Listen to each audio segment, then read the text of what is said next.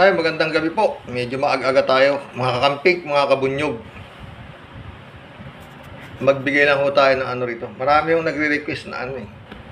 Na mag ano tayo rito kay ano eh. Anyway, idol ko rin ho to. Christian Isguera. Magbigay lang ho tayo ng komentaryo, dagdag lang ha. May nagtatanong po dito sa Blue Gray. Kinuha raw po ba kayong tutor 21 hours ago lang yata to eh. Tanong daw ni Blue Gray. Kinuha ba kayong tutor?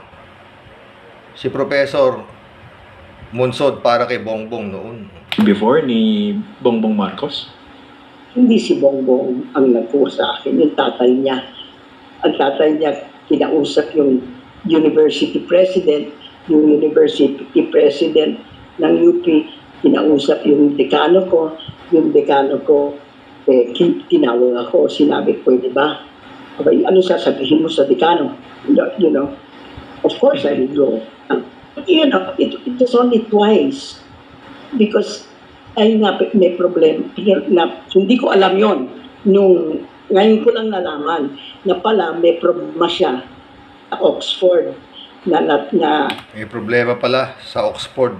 na lumagpak siya sa sa exam niya sa economics at saka politics eh Nariwalag ko ba, lumagpak daw si BBM sa economics at politics, sabi ni Professor Winnie Munsod.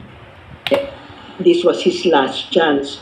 So he, uh, his father, uh, asked for for some help. And how was it po? And, and to say that, uh, you know, I, I, I am given to understand that he did pass the economics exam when he took it. But he unfortunately did not pass the politics. But that does not mean he is uh, an intelligent consumer of economic information. Maybe he will be. But nothing that he has done so far makes me uh, think that he will be an intelligent consumer. His intelligence has, has, has gone to the point where he has picked the best team. I think one of the best teams Nakakuha pala si BBM ng one of the best team in economics, sabi ni Professor Winnie Munsod. Pakinggan pa po natin.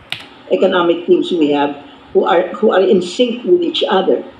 Mm. So as I told you at the beginning, you know, kung papakinggan niya yung team niya, makakaalis tayo sa economic crisis. Pero kung hindi niya pakikinggan, walang mangyayari. At saka, miskin niya pakinggan yung team niya, pero mag, na, tumuloy yung corruption sa government at yung Kung papakinggan daw niya yung economic team na kinuha niya, okay lang. Pero yun na nga, sabi ni, pero maski pakinggan niya, kung tuloy ang korupsyon, efficient government, wala rin nangyayari. So it's, it's wala rin mangyayari. Maski pakinggan niya pa, mas, basta tuloy pa rin ang korupsyon. Wala rin mangyayari, sabi ni Professor Winnie Mansod. really a hard choice. I mean, this man has, he's going to have a very difficult time already. So if he makes it more difficult, then are going to lose. The Filipino people are going to lose. Yan ang problema eh, mga boss.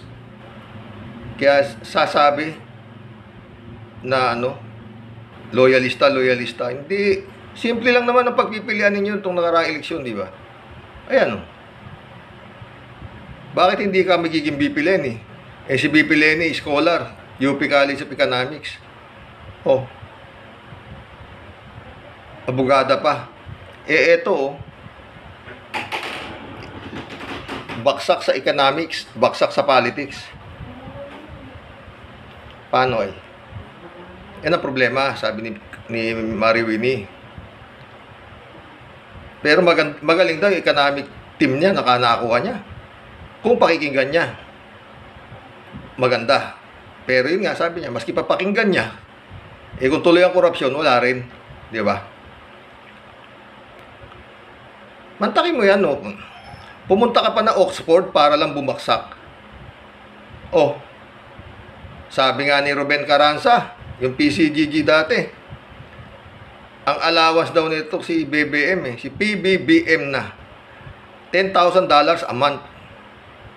Pati yung mga ano niya, mga kasamahan niya ron, may sarili pang talagang ano, tama si Digong, spoiled brat. Oh. Ba? Paano? Alam nyo, no? Eh, samantala si Bibi Lenny, oh. Yung mga anak niya, sa, sa ibang bansa nag-aaral, mga dekalidad na universities, pero, paral ng gobyerno, scholar eh. Matalino. At wala akong ganitong balita, baksak-baksak. Oh. Last chance na raw pala, sabi ni Kumari Winnie. Kaya siya, kinausap na nung tatay niya, yung presidente na UP. Oh. At ibinigay sa kanya na UP, ang isa sa pinakamagaling na profesor ng economics, Winnie Monsod nga. Oh, nakapasa raw siya sa economics. Pero nga eh, baksak pa rin sa politics. Ang hirap talaga, no? Tapos yun, ngayon eh, pagka ano mo, His Excellency President,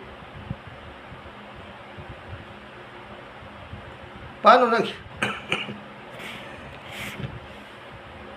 Kaya malaking problema talaga ni BBM. Bakit?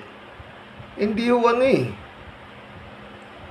Paano, pa, isipin nyo nga, pa, paano patatakbuhin ng isang bansa na ang puro, halos, yung mga nasa ilalim mo, eh, higit sa'yo ang utak.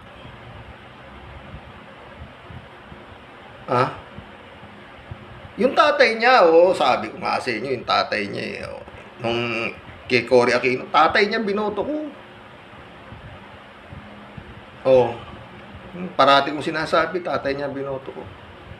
Dahil nga yun, bilib ako. Dahil nga magaling, oo. Kung nagamit lang ni tatay niya ang pamumuno sa mabuting paraan, eh maunlad sana talaga ang bansa. Oo. Kasi nga yun, paulit-ulit ko sinasabi, walang kongreso, walang senado, walang party list na patak. Walang vice presidential lang. Oh. Pero yun nga eh. mm. Nag-shopping daw si Imelda. Ayon kay Kristan, nag-shopping sa Amerika. Building ang mga binili. Tatlo yata. Maraming building, building doon. Pati yata yung Trump Tower eh. Oh. Dating... Yun ho. Oo. Pero ah, mm, kung nalagpasan lang niya yung ano ni Bipile, kaso hirap eh. Paano, paano mo iboboto? O, yan nga oh. Ang educational attainment niya, oh, hala, special diploma in social studies. Oh. Alam niyo, pag hanggang ganito Pilipino, hindi mo masisi eh. Dahil sa hirap eh. Mostly talagang nagpapanalo yan mga panatiko, mga utak na ganyan. Marami ho kasi mga utak ng Pilipino, ba't ganyan eh? Oh. Ang dali talagang anuhin eh. Maniwala. Nakakalungkot.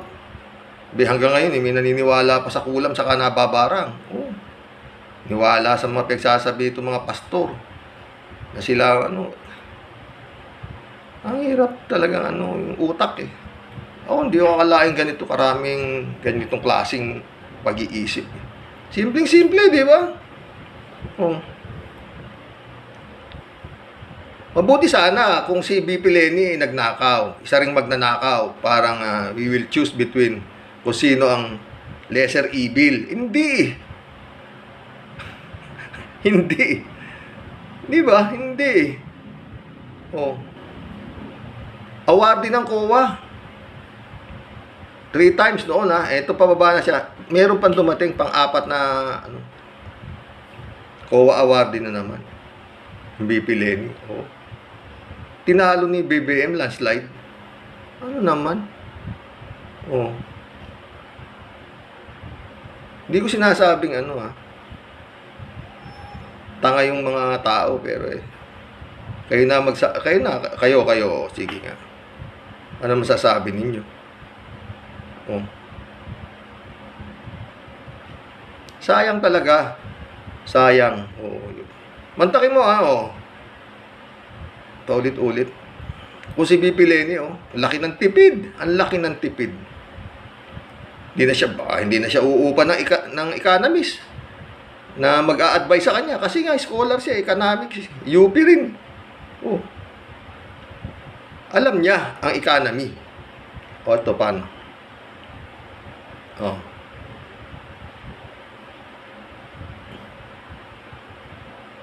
Tsaka yun nga, siguradong may mangyayari. Kaya wala na talaga eh. Ganito na politika sa atin eh. Wala na talaga. Hawak lahat eh. Oh. Ano pa? Eh, Kiko Pangilinan na lang oh. Harvard din yun oh. Oh. Tinalo ng Sara. Oh. Ilang ilang termino senador si Kiko Pangilinan. Oh. Wala eh. Wala talaga. Yun nga ang gusto. Kaya pa, si Atty. Enzo, yan eh.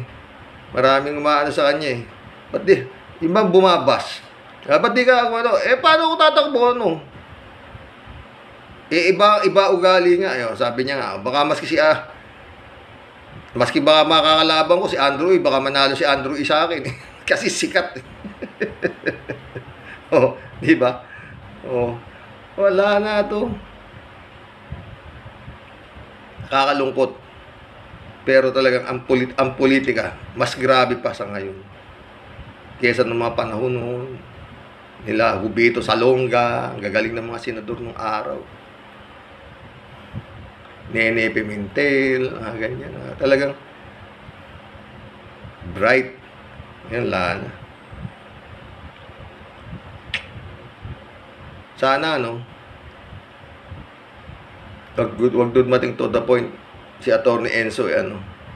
Pero sana, palagay ko hindi naman yan. eh. Sana wag siyang, bilib ako ha kay Atty. Enzo Recto. Ba, yung ulo ko doon, no? taas kamay pati paa, magaling talaga. Pero sana, alam mo kung minsan yan eh. Kagaya ni Duterte. Oh, yung alam niyang mga kritiko, pinagkukuha niya. O, kagaya si Harry Roque. O, numero unong human rights advocate daw. O, kinuha. Biglang. Biglang. kaya binira ni ano, di ba? Ni, ito.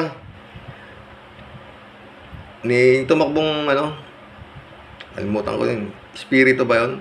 Oo. Oo. Biglang nung kinuha siya, spokesperson, per, spokesperson eh. Oh. Baw eh. Isa rin yung ano, yun. Magaling din yun eh. Yung si... Yung si, ano, Martin Andanar. Oh, dati magaling din yun, yung reporter. eh, Oh. Biglang kinuha siya ni ano. Sana, sana wag, wag mangyari kay Atty. Enzo Recto yan. Pero palagi ko hindi naman sana, ha? Atty. Enzo. Oh. Eh, tingnan mo yan, ah. Dati ang galing, ah, bilib ako dyan. Kay Harry Roque, bilib ako dyan, ha? Oh. Roque ako, pero hindi yun apelyido ko, pangalan ko lang, ha? Hindi, hindi eh, siya, apelyido niya Roque, di ba? Harry Roque, ako hindi. Hindi. Roque expectation ako, di ba? Oo, ganun. Sana hindi, hindi mangyari, ha? Oh. Attorney Enzo, ha? Baka mamaya biglang sasabihin sa'yo ni BBM, eh. Kailangan kita sa aking ah, kabinete bilang, naku, patay tayo dyan, bata. Pero palagi ko hindi. Palagi ko hindi, ah. Hmm. Sana hindi. Sana mali ako, ah. Oh, yun. Yun lang yun. Ha? Diyos ko. Magbasa ho tayo ng mga gandang comments nyo doon sa vlog ko kagabi. Oh. Yun note kay Kristan, ano? Oh. Sabi ni Beverly Ace Jokno. I also admire and love Sir Christian Kristan pala. Tulad din po nyo. So brilliant and smart. God bless sa ating lahat. Ako salamat Beverly ha. Pero mas magaling sa akin yan si Kristan ha.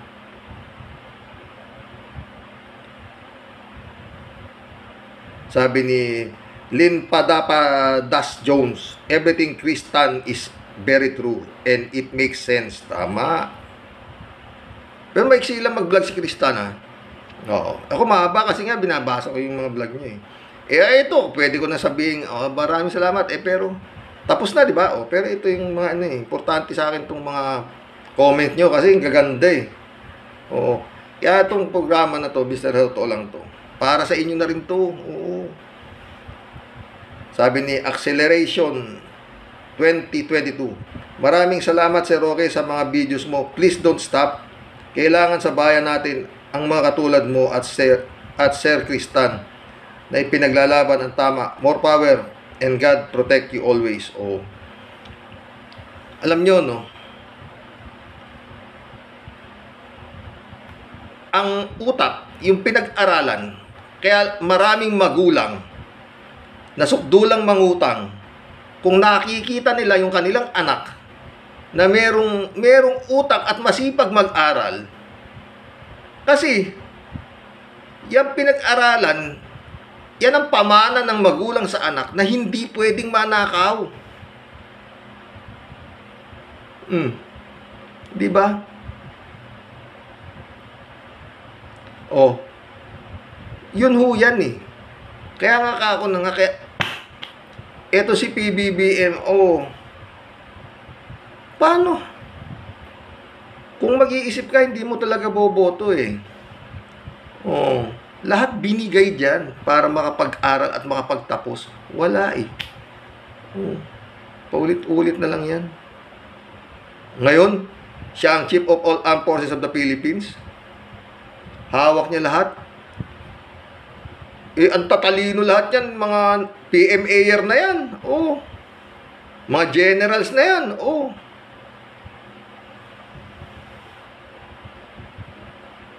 Hindi siya tatama dyan.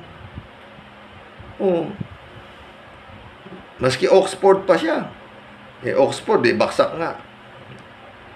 Punta mo, punta ka pa sa Oxford para lang magbagsak. Ang mga nag-aaral sa ibang bansa na sinasabi, mga Oxford dyan, mga Harvard dyan, eh talagang may panlabang ka. Eh pupunta ka ron para ka lang lumagpak. Kahiya, hiya, hiya, hiya, hiya, hiya, hiya, hiya. In the sense, tatay mo, Pangulong Pilipinas.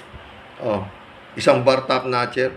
Tatay niya, pwedeng tawagin His Excellency. Oh, pero yun nga eh. Sumobra ang pagiging excellency. Sad to say. Sabi ni Joe Flores, oh, Magandang gabi, Sir Roque. Ang kurap at masamang leader ay nangangailangang mag-arkila ng mga alipores na mga masasa- masasama din para maganda, madali, madali at walang sagabal ang masamang proseso nila. Unity nga naman, unity. Ah, United in evil they stand. Sherbin Sapeda. Good evening po ulit Sir Roque. Kung ang isisigaw mo po eh ka taka taka taka taka taka taka. Eh, ang bira ka Sherbin Sapeda kayo ha. Sigaw naman nung mga nakaupo. Pera pera pera pera pera pera pera pera. Tawa ng tawa pa si mga sense of humor nito mga to, oh, so totoo.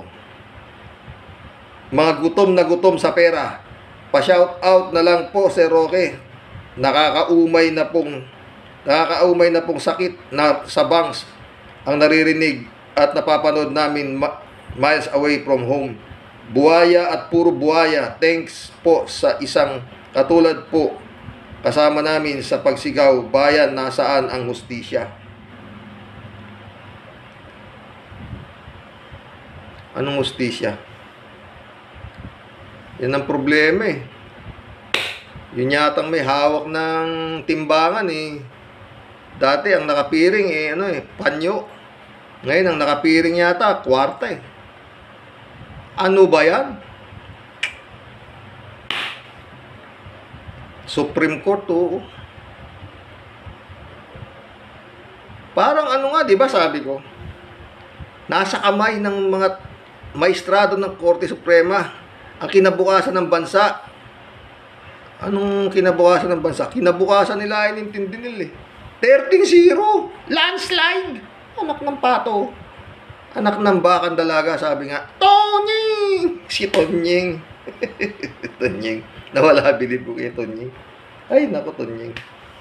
Ladies Anita, shout out. Sir Roque, maraming salamat ng muli sa ibinahagi mo sa aming mga viewers mo po.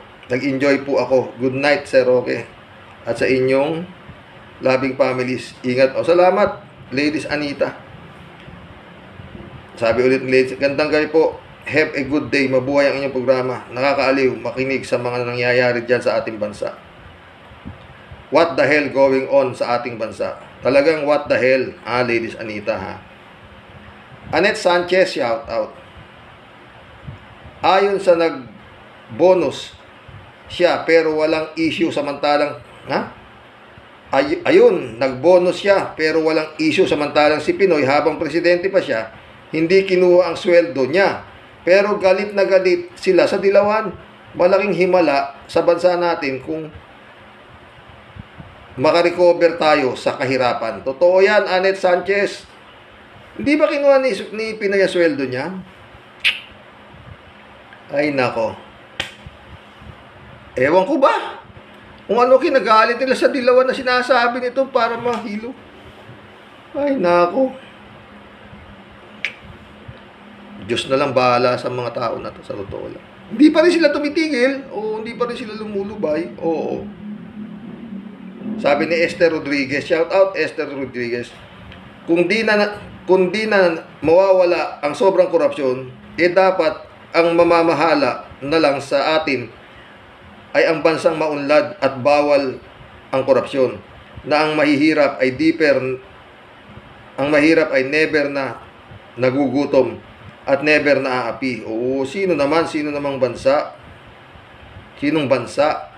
Sabi ni Ella Cri- wala ng check and balance, nakakasuka ang mga nanalo at mga utu-utong galamay nila. Ilulubog tayo lahat sa kumunoy.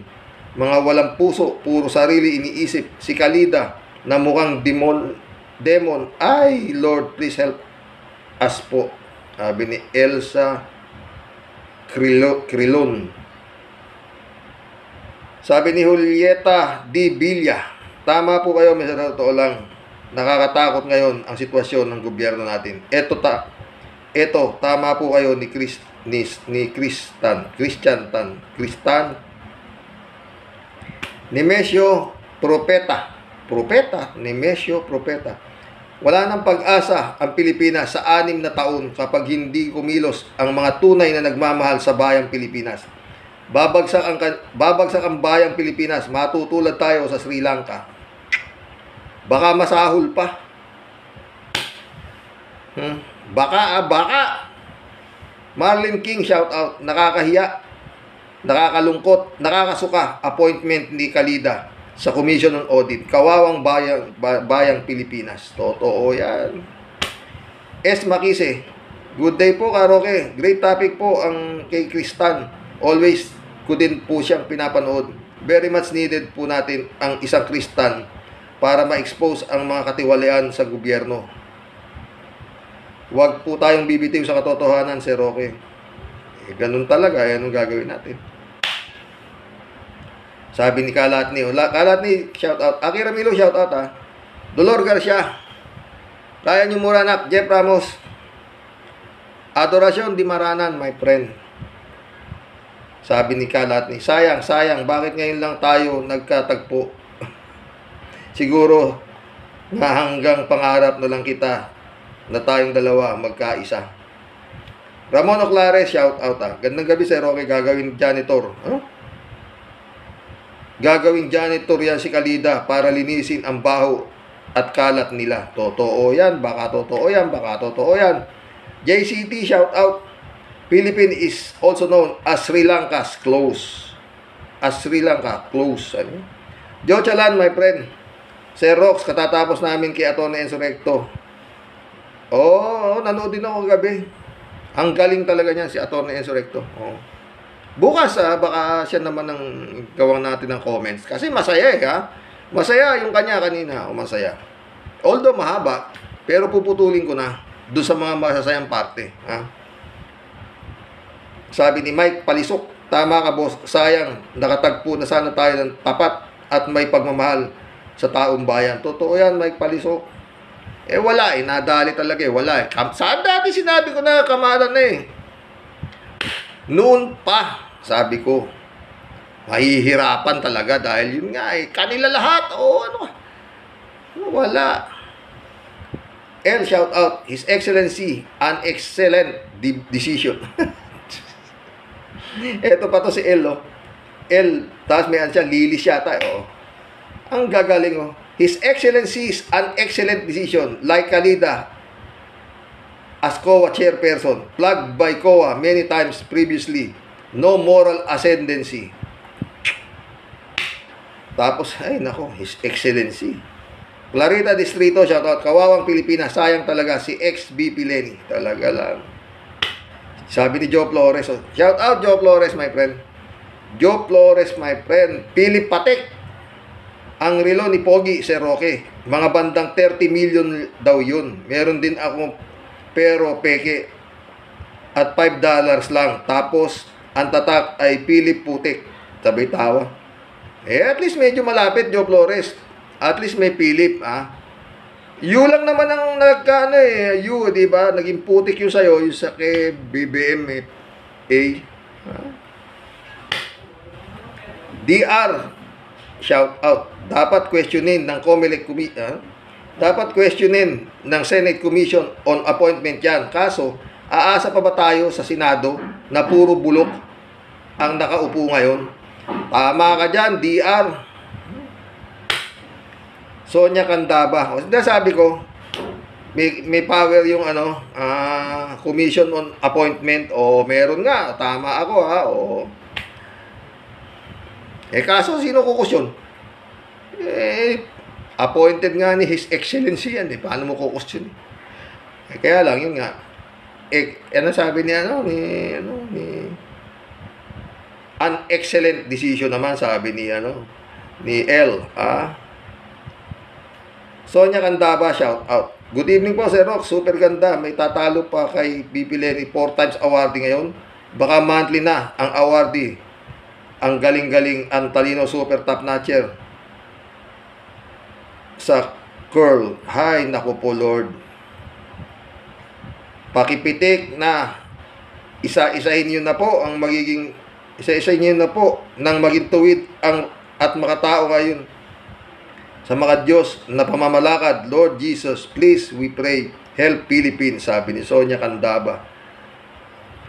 Sabi ni Ladies Anita ulit, ang ating bansa mahihirapan ng bumangon sa kahirapan. Kung ang mga patay pwedeng bumangon, mas mauuna silang babangon kumpara sa pagbangon ng kahirapan ng ating bansa at pati na ang buhay ng taong bayan.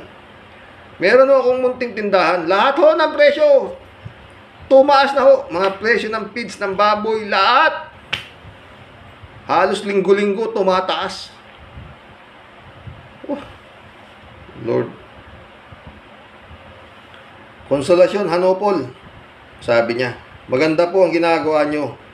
Sana you can consider watching also Christian Isguera. Oh, ito, ito na. Ito na kay Christian. Konsolasyon, Hanopol. oh. Kay Christian Isguera na to. Hindi ako nagpaano, parati ko rin pinapanood si Christian Isguera. Oo. Mga idol ko yan eh. Talagang magagaling naman, hindi kagaya ng ibang vlogger na pating naman. Oh, wala. Yung mga ano kabila, wala eh. Puro wala sa... Maka ano lang, makasip-sip lang sila. Ganun. Oo. Makapuri lang. Di alam kung ano, siya, anong pesa sabi. Oo. Bukas maganda. Yung kay ano, yung kay uh, Attorney Enzo Recto. Masaya yun, masaya yun ha. Baka napanood nyo naman. Oo. Pero ako, iba ako magbigay ng ano eh. Reaksyon eh. Re-reaksyonan ko lang mga boss. Sabi niya, maganda po ang ginagawa nyo. Sana you can consider watching also Christian Isguera.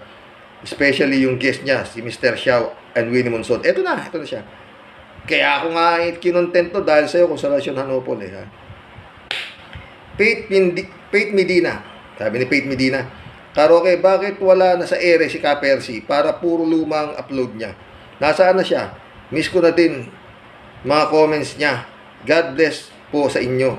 Lagi pong dinadasal Pilipinas at kayong mga tumutulong na magmulat sa mga mata ng mga nakapikit na mangmang. Totoo yan. Kutya. Ay, nako. Nakapikit na, mangmang pa. ah. Si Kapersi, mu- nasa bakasyon daw eh. Pero yun nga, ah, ewan natin. Oo. Sana makabalik siya. Sana bumalik pa, no? Maricar Baldonado, shout out. Magandang gabi, Karoke. Damang-dama ko po kay Chris ang hinanakit sa puso niya. Ganun din po ang nararamdaman ko. Wala na pong mangyayari sa ating bansa dahil kalimitan, hawak na nilang lahat ang mga politiko. Kaya wala nang maka, makatutol sa mga maling nangyayari. Ang pag-asa na lang ay ang mga pangkaraniwang mamamayan ang kikilos para sa katotohanan. Sa ngayon, di na sila nakikinig kahit anong reklamo ng mga mamamayan. Ang mahalaga sa kanila ay nakaupo sila sa pwesto. Totoo yan, Marical Baldonado. Bago yata si Maricar. Joe Chalan, my friend, shout out. Sabi ni Mirna Regalado, Good evening, Sir Rox. Tama si Kristan. Followers din ako ni Kristan. Saan napupunta Pilipinas? Nakapang, nakapanghihinayang tama, dasal na lang. O, dadasal na lang talaga tayo. Leon, shout out. Sabi ni Joe Chalan, malinis daw. Pag sila ang gagawa, walang sala at walang mali. Totoo yan, Joe Chalan. Sabi ni Chalan ulit, sundan ang susunod na kabanata ng COA under Kalida. Talaga lang. Ay, nako. Gladys Glad Ori, Orlino. Nakakamiss yung mga oras na binibigyan ng COA si BP Lenny Robredo ng highest audit rating. Talaga lang. Ay, nako.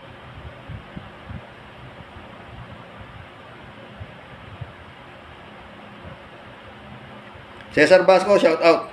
Sabi ni Cesar Basco, karaoke, sa pagka-appoint kay Kalida, alam na. Elizabeth Iscare, gustong gusto ni BBM yan si Kalida kasi magaling atang magpaikot at napunta pa sa COA. Wow, ang ganda naman ng administrasyon nato. Ang galing pumili ng kanyang kabinete. Wow na wow. Ano kaya ang susunod na kabanata? Sabi niya. no? Elizabeth Escare. Di ba? Aantayin na lang natin. Talagang ganun yan.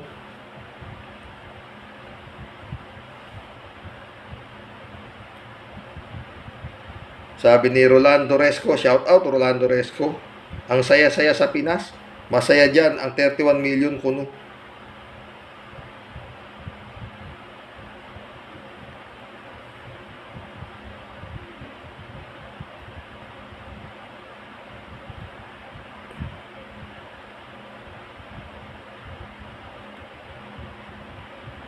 Armando Gabriel, shout out. Kagahamanan ng kagahamanan, kagahamanan na yung ganyang tao. Sabay gahaman naman talaga. Sa bagay, gahaman naman talaga, sabi. Adelma Atienza, civil disobedience, huwag magbayad ng tax. Talagang ewan na kung anong nangyayari rito. Ed Padernal, shout out.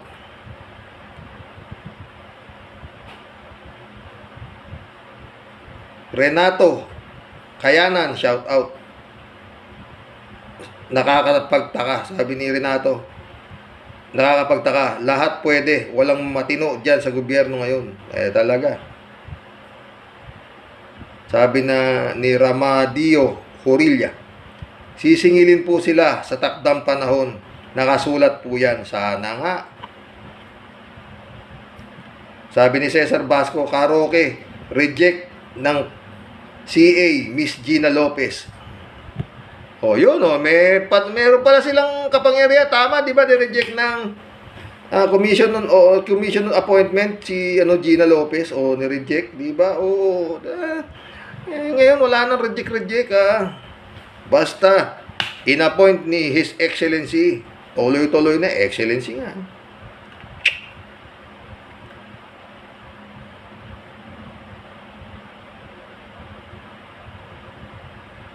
Emmanuel Escalona, shout out. Tayroke, puro lutang ang speech ni LBM. Hindi maintindihan ang mga sinasabi. Isa pa, puro mali ang sinasabi. Totoo yan, Escalona, Emmanuel Escalona, my friend. Nasa ibang bansa din to eh, si Emmanuel Escalona. O, mga kasamahan dat matagal na po itong mga to sa akin eh. Oo. Doon pa sa panahon nitong si ano, itong si Baliw na si FLM, si Mang Hussein, no? Niiwan ko na. Bahala na si Bungo dyan.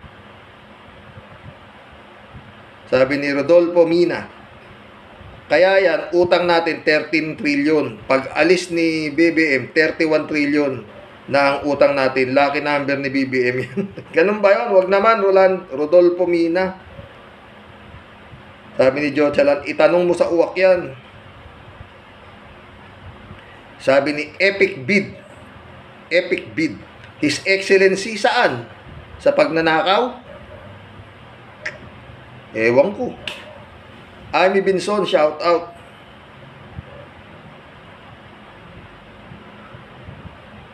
Sabi ni Leon, bonus yan kay Kalida sa pagpapasara sa ABS-CBN. Ganun ba? Raxialis Guerra, shout out ha. Dating Solgen, now COA, sa future doctor na si... Ha? Dating Solgen, now COA, sa future doctor na siya. Dodoktorin niya ang mga record para maging good record. Hay, nako Pilipinas. Ano na nangyayari? Puro trapo pa rin nakaupo. Wala pa rin pagbabago, sabi ni Rachel Isguera. Ay, nako.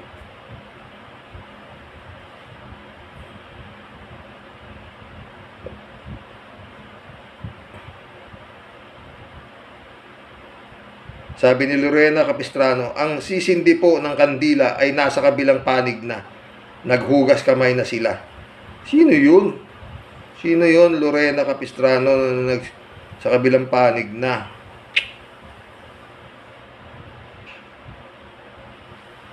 Shout out, Xiao. Ano pangalan to, Xiao?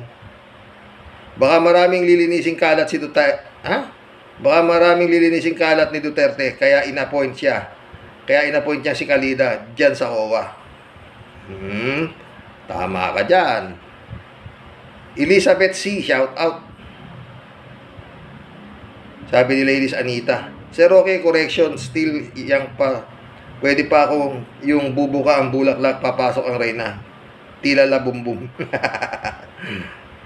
Bisor Sorilla, shout out. Ay, nako. Tapos din, ah, nabasa ko lahat ng comments nyo ha. Mga boss. Doon sa ano ko. Alamat to doon sa dumadagdag na subscriber. Sandali lang naman, no? pipindutin nyo lang, no? Ha, wala ho tayong pwedeng kapitan kung hindi, wala nang iba. Kung hindi si Lord, dasal. Yun lang po, wala na. Wala ho tayong maaasahan eh. Yung inaasahan natin Korte Suprema, eh landslide, 13-0. Oh. Wala na. Doon na lang eh. Doon na lang ang ba sa parati tayo dasal sana hipuin ng Diyos, Panginoon ang mga maestrado ng kataas-taasang hukuman upang ano doon doon doon mm. eh, buti sana kung nag-file ng disqualification sa cancellation of ah to nung candidacy ni Bongbong eh basta-basta tao hindi taga Korte Suprema rin eh di ba oo di ba? O pero wala nangyari. Yan nga ang problema. Kung bakit?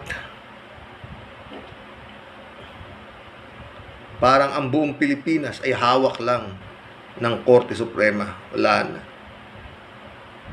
Pag naayos na yung Korte Suprema tapos na. Oh nasa na ngayon sila Tudor te. Asa na ngayon yung mga nagrereklamo? Wala na silang pagpapailan ng apila. O, dati, Comelec, umapila sila sa Korte Suprema. Mga gonggong, tama ang Comelec. Sabi ng kataas-taas-taas ang Korte Suprema. Wala nang pwedeng kumustyon. Gaya na sinasabi maaring lulusot kayo sa batas ng tao pero sa batas ng Diyos kung pero palagi ko di naniniwala sa Diyos itong mga ito. God bless po. Good night mga boss mga chief